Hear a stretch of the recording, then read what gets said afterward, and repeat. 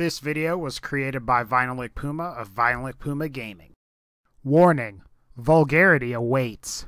What's going on, guys? This is Vinylic Puma, and today I've got some gun porn for Fallout 4. So get hyped because this is going to be my top 5 most anticipated weapons for Fallout 4. Number 5 the pipe rifle. So this thing looks like a piece of shit, but I don't care. It looks really dangerous, and if it's anything like Fallout 3 and New Vegas' hunting rifle, then I think this is going to be a pretty sick weapon. Now, according to the Fallout 4 wiki, it's going to be using a 38 caliber, which is the closest relative to the 357 caliber from the previous two games. Number 4.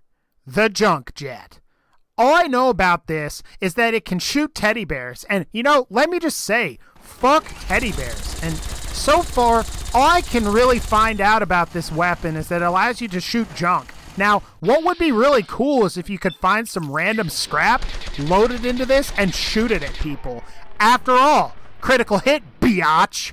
Sorry, Borderlands 1 reference. Number 3, the laser pistol. You know what? Is it just me, or does the laser pistol look a lot cooler in this game than it did in Fallout 3 in New Vegas? You know, and I just think that that grip guard in the previous two games looks like a boatload of ice, and it was time to be removed.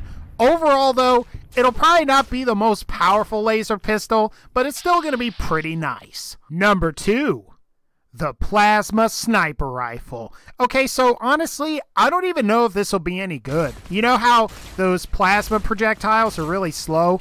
Uh, it's going to be a piece of shit at long range, maybe, but at the same time, maybe it won't be. So, after all, uh, plasma projectiles are slow, but they do make your enemies go yuck. Number one, the automatic assault rifle.